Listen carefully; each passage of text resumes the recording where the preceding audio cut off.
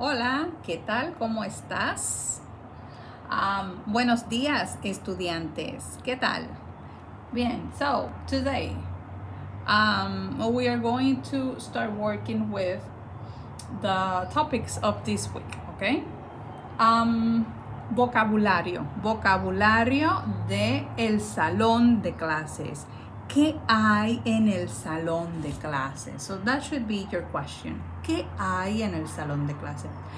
Remember, when you start memorizing vocabulary, try to go over everything and identify those words that are pretty easy to remember. Those words that are cognates. Remember, a cognate is a word that is similar in English and in both languages, English and Spanish, they mean the same thing. Okay, that's a cognate.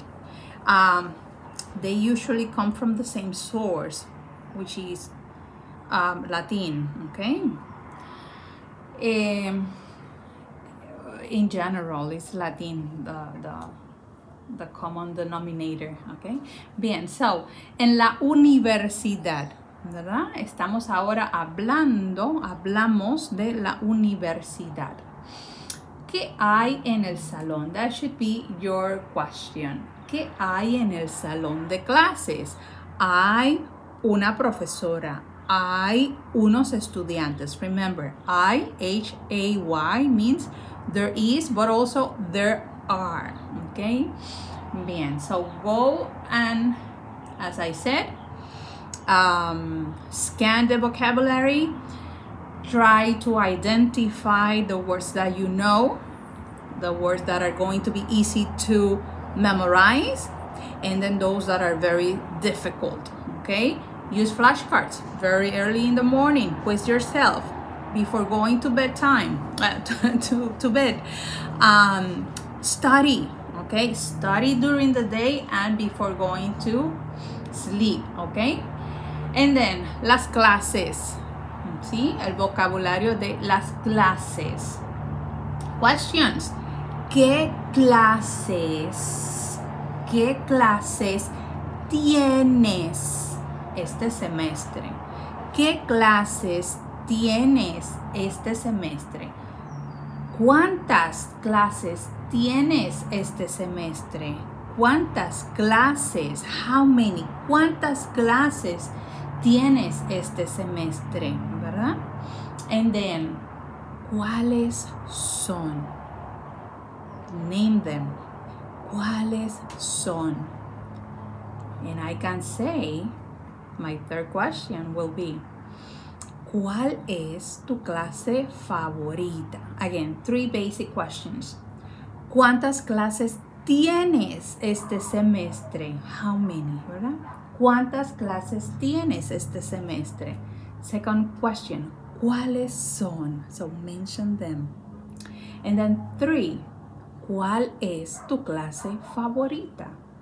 To reply to these questions, tengo, okay? That will be the yo form. Tengo tres clases este semestre. Tengo una clase este semestre. And then to reply to cuáles son.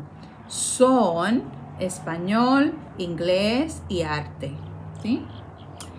To reply to um, ¿cuál es tu clase favorita? Then you start with mi clase favorita es. Don't try to use English syntax. Okay, don't say mi favorita clase. No, because that's English syntax. So we need to use Spanish syntax. Okay, mi clase my class. And then favorita es. See? So, switch. Mi clase favorita es español. Mi clase favorita es inglés. Geología, música, física, economía, contabilidad, computación, ciencias, biología administración de empresas. ¿Sí? Bien. Um, das tema 1. Ok, remember, que hay en el salón? En el salón hay una computadora, un teléfono, una profesora, etc. And then, ¿Cuántas clases tienes este semestre? ¿Cuáles son? ¿Cuál es tu clase favorita? Tema 1. Tema 2. Los días de la semana. ¿Sí? ¿Cuáles son los días de la semana? Well, we start with Monday. ¿Ok? A ver. Lunes, martes, miércoles, jueves, viernes, sábado y domingo. The questions. ¿Qué día es hoy? ¿Qué día es hoy? And then hoy can be replaced by mañana, meaning tomorrow. So, ¿qué día es hoy? What day is today? ¿Qué día es mañana? What day is tomorrow? And then, ¿qué día es ayer? Ayer meaning yesterday. Okay? Bien. Also, you can ask when something is going to take place. For example, ¿cuándo? ¿Cuándo es el examen? ¿Cuándo es el programa? ¿Cuándo es el concierto? ¿Verdad? In our previous um, chapter, we learned to say ¿a qué hora es? Now we're going to learn to say cuándo es. Okay? Instead of the time, now we are um, trying to target the day. Okay? ¿Cuándo es? El miércoles, el lunes, el martes, etc. Okay? Um, and that is tema 2. Simple tema 2. Okay? Los días and then cuándo es. ¿Qué día es hoy? ¿Cuándo es? Tema número 3. Las actividades diarias. Now you're going to memorize at least minimum five verbs. You need to know them by heart. Okay, the meaning of them. And then how to conjugate them. It's going to be pretty easy okay? Once you know how to do one then you know because everything is a pattern here um, you will know how to do the other ones okay? Bien let's um, talk about estudiar. Estudiar is ending with an AR right? Estudiar. The same thing with hablar so estudiar is a cognate to study right hablar to talk tomar it's that one is tricky because it has several meanings. Tomar means to take. Por ejemplo, yo tomo una clase este verano. Take a class. Or tomar, also to drink. ¿Sí? Bien, but we can use it in the context, context of taking a class. Okay? Tomar. And then trabajar. Trabajar, to work. Trabajar and then viajar to travel viajar okay i need you to know those verbs um and then how to conjugate those verbs remember in spanish we we use one verb for example estudiar hablar um, tomar trabajar and then we change that form because that's the basic form. Trabajar, hablar, o estudiar is the basic form. It's like saying to be in English. Once you start changing that verb, that word, you're conjugating the word. Okay? You're conjugating the verb. For example, the verb to be in the yo form is am. I am you're conjugating in English, okay? In Spanish, we do the same thing, okay? It's pretty easier to see it in English with the verb to be than it, with the other ones, okay? Um, so in Spanish, all the verbs are going to have changes, okay? Depending uh, on who is expressing the action, okay?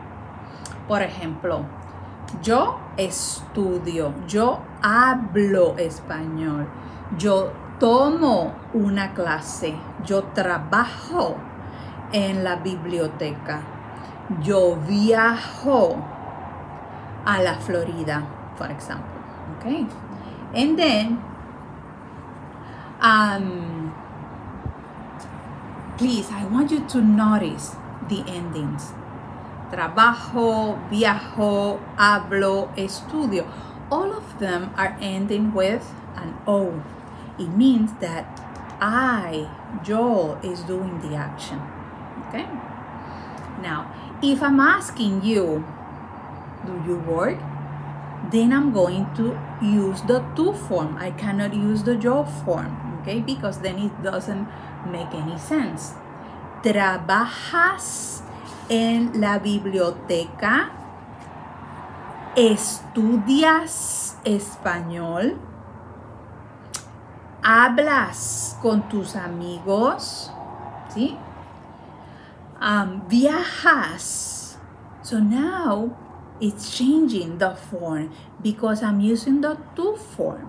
Okay? Again, once you are replying and you're talking about yourself, then you use the yo form. But if you're asking or saying something about another person, that's the tú form. Or it could be the él o ella or usted form. See? Um, so basic questions. ¿Estudias español? ¿Hablas español? ¿Tomas muchas clases? ¿Trabajas todos los días? ¿Viajas a Canadá? And you will see, you will see in that um, slide how to formulate the question. Well, the questions is a yes or no question.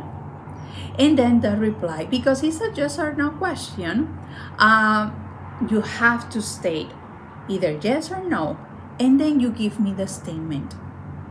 Yes, I study. No, I don't study. Okay. For example, let's take one example. ¿Estudias español? Sí, yo estudio español. Let's say that the answer is no. So it will be no. Yo no estudio español. You need to know, like in English. No, I don't. You see, the don't is the second no. The same thing in Spanish. No. Yo no estudio español. And the no is in front of the verb. Okay? Can you get rid of the yo? Yes, you can. I used the yo in the examples, in some of them, to give you the structure, but you don't need it. You will see it, okay? Um, and then you're going to find other verbs that are conjugated like um, estudiar, hablar, and so on, because they are called AR endings, okay? AR verbs. Um, once you know, I told you, one, how to work with one, then you know how to work with any verb that is ending like that. Okay, so if I give you, for example, nadar, you should know that in the yo form is nado. The tú form is nadas. And once you know how to conjugate the él, ella, usted form and nosotros and the plural of él, ella, o usted, then you will know how to work with nadar, which is to swim. Okay? Bien. That's tema 3. ¿sí? Tema 4. Now we're going to talk about what things we like to do. Before, with the simple verb, the, the present tense of hablar, we were talking about the activities that we do usually, habitually, all the time, or maybe never. Yeah? But when we use gustar, then we are talking about the activities that we like to do. See? And then you can say, me gusta without the yo. Now you forget about the yo form.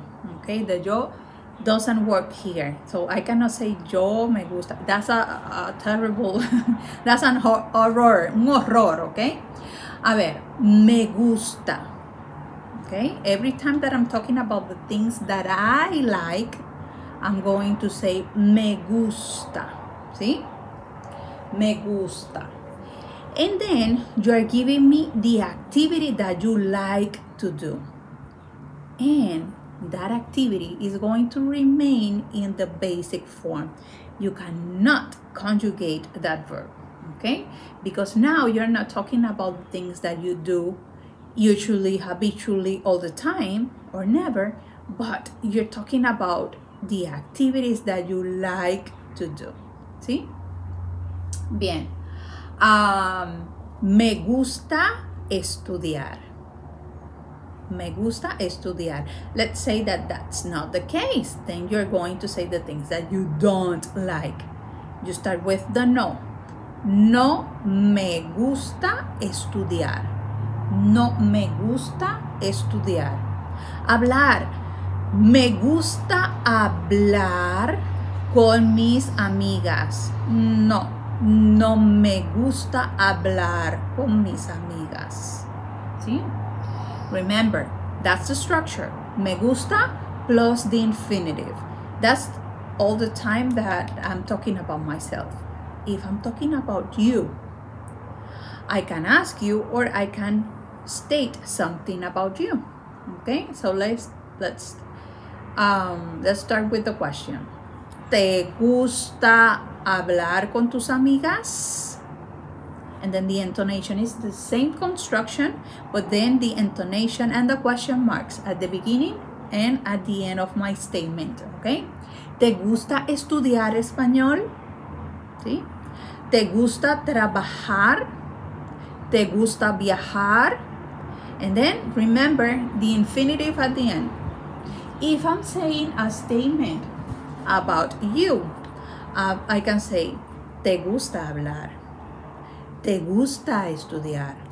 I can see that. ¿Te gusta estudiar? ¿Sí? Bien. Um, in front of me gusta estudiar, sometimes we use a mí. It's not needed. Sometimes we use it for emphasis because uh, if we think about it, it's redundant. In Spanish, we don't have to say a mí, okay? Because once I say me, everybody's going to understand that I'm talking about myself, okay? So, a mí me gusta. A ti will be the tú form. A ti te gusta estudiar. We don't need it. Why? Because once I say te gusta estudiar, is understood.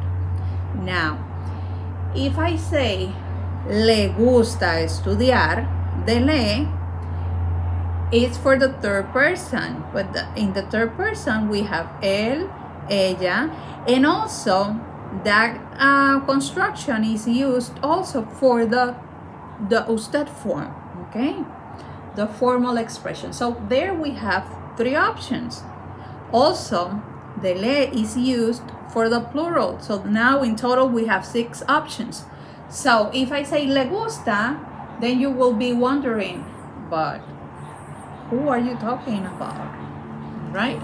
So then in that case, I have to mention the person first. And I'm going to start with an A. A María le gusta estudiar. A José le gusta estudiar. A Pedro no le gusta estudiar. So when we have the le, we have to be more specific. Unless we mentioned the person and we both know that we are talking about José, Pedro, los estudiantes, las profesoras, los profesores, and then we don't have to keep mentioning los estudiantes, a las profesoras, because it's understood. Okay? So that's tema 4. Tema 4.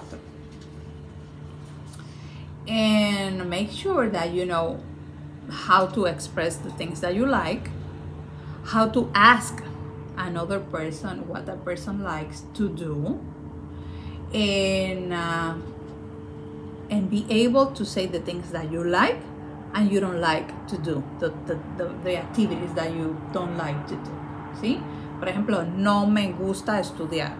No. If I ask you, ¿te gusta estudiar? And then, no, no me gusta estudiar. Bien. So that's tema 4. Tema 5. Um, tema 5, it's about the verb estar. And estar in Spanish means to be. I don't know if you remember, but the the verb ser in Spanish also means to be. Um, but we establish a difference, okay, in Spanish. Um, en estar means to be located in a place. It's about location, location, location. Besides expressing how we feel, okay? So now we are going to start using estar because when we um, started this course, one of the first questions that I gave you was, ¿Cómo estás? Remember? ¿Cómo estás? And then you were saying, Estoy bien. So we're going to keep using estar to express how we feel. And remember, how we feel in a particular period of time. This is the period of time. I'm limiting the time. In that particular, being specific, period of time, I feel like this. Okay? Bien. So, ¿cómo estás? Estoy bien. ¿Cómo estás? Estoy mal. Estoy enfermo. Estoy enferma. Meaning sick. ¿Verdad? ¿Cómo estás? Estoy alegre. Think about alegre. It will help you to connect, okay? The medicine. Bien. So, how we feel? I'm happy within a period of time because of something. Remember, this is how I feel in this particular period of time, okay? If I want to express that I'm um, I am a happy person, that's another verb. That's going to be the verb ser. And that's not what we're talking about now. Now we're talking about how we feel okay? Bien. Estoy bien estoy mal estoy alegre estoy enfermo estoy enferma. ¿sí? Bien but also location as i said before and i want you to keep that in mind Okay, location, location, location. My question, ¿dónde estás?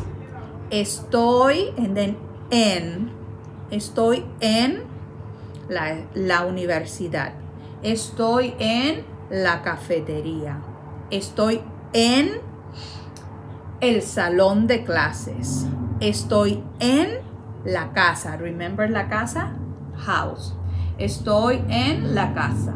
Estoy en el estadio. ¿Sí? Estoy en el concierto. ¿Dónde estás? Estoy en la fiesta. ¿Sí? Bien. And that's tema 5. Make sure that you know how to conjugate the verb estar not only in the yo form, okay, or the tú form, but also él, ella, usted, nosotros, we, ¿verdad? O nosotras, ellos, ellas y ustedes. ¿Sí? Those are the perspectives. Um, de vosotros, you can learn it, okay? Um, to be politically correct, I'm not going to use it um, in a quiz, for example, okay? Or the final. I included the vosotros, but it's not needed. The vosotros is the you all okay? The you all form is informal okay? The tú in the plural form. Bien. And then tema 6 los números. Los números. Los números um, so I urge you to review basic numbers and then start here learning from 31 to 100 see uh, keep in mind that or review. Review the question. ¿Cuál es tu número de teléfono? Now, in Spanish, we love to combine two digits. In the previous question, in the previous chapter, you learned to say 9173571789, for example. Now in this section, what we're going to do is to combine two digits. For example, 212, 360, 4059. Okay? ¿Cuál es tu número de teléfono? Mi número de teléfono es, okay? And then try to start combining two digits. See? man Um, so that's basically capítulo 2. The, the most important thing here is how to conjugate verbs. Because once you know how to conjugate verbs, you are expressing things. Okay? So learn verbs and how to conjugate them. Remember, when you're expressing that you like something, the structure is totally different. Okay? There's no I like and for example to study. That that structure doesn't work here. Okay? Actually, the real structure here is for example, studying is pleasing to me. That's the real translation. Okay, the thing is that we prefer to translate that as I like to study, but in reality, the translation, the rough translation is studying is pleasing to me. So that's why we don't use the yo there. Never ever. Okay? Bien. If you have questions, please use the um, the textbook to read about the grammar, do the activities, redo the activities. Um, and after that, if you're still having problems, contact me, okay? Bien, chao, hasta luego.